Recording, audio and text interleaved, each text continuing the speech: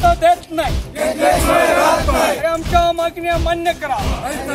खाली करा ऊस बिलाची रक्कम मिळाली पाहिजे नाहीतर साखर पोती.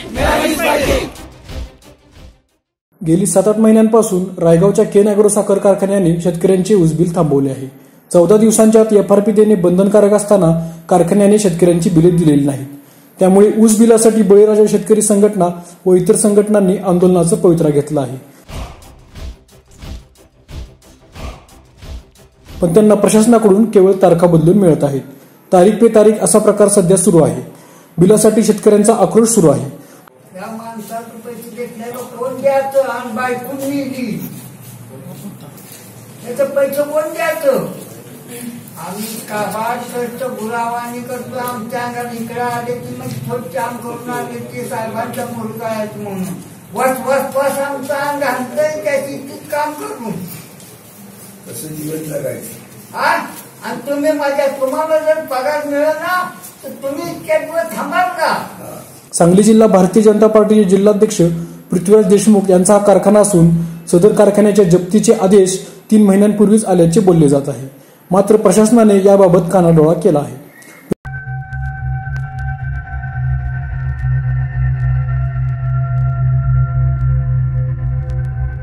पृथ्वीराज देशमुख हे राजकारणातले बडेप्रस्त असल्याने प्रशासनाने त्यांच्यासमोर गुडघे टेकले की काय असा सवाल शेतकऱ्यांच्यातून उपस्थित केला जात आहे.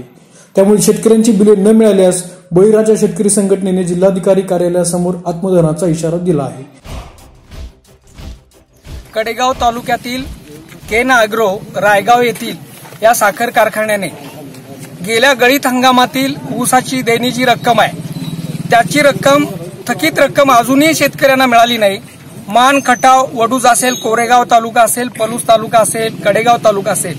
वंचित राहिलेला शेतकरी जो एकजूट होत नाही अशा शेतकऱ्याची जी पहिली देण्याची रक्कम आहे शुगर केन कंट्रोल ऍक्ट एकोणीसशे सहासष्ट ऑर्डरनुसार चौदा दिवसात साखर कारखान्याने ही रक्कम दिली पाहिजे. पण दुर्दैवानं राजकारणात अग्रगण्य असणारा हा साखर कारखान्याचे चेअरमन पृथ्वीराज देशमुख यांनी मात्र या कडेगाव तालुक्यातील परस्पर असलेल्या जवळच्या लोकांची देणी दिली आणि जे शेतकरी वंचित आहेत अशांची जी रक्कम आहे एफ आर पीची ती जवळजवळ एक कोटी दोन कोटीच्या आसपासची रक्कम दिलेली नाही.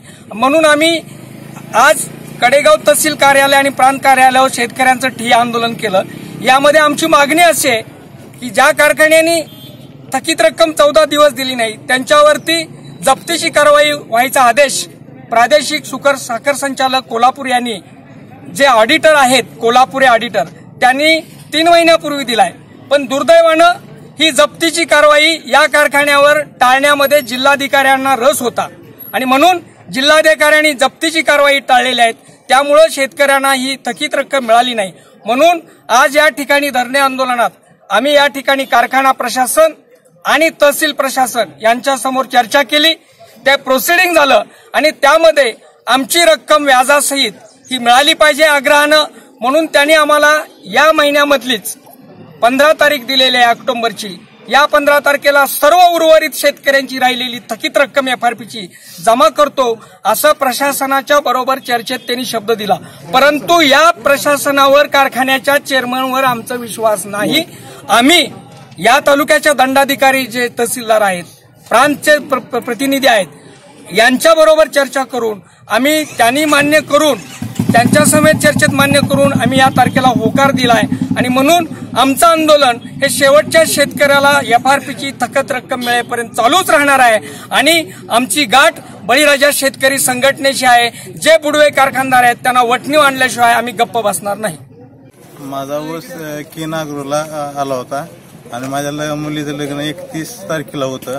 मला त्याने आधी दोन दिवस सांगितलं की तुमचं लग्नाचं काम आहे तुम्हाला पैसे देणं गरजेचं आहे. मला दोन दिवस दोन दिवस मी येऊन कारखान्यावर थांबलो पण मला एकही रुपये त्यांनी दिलेला नाही.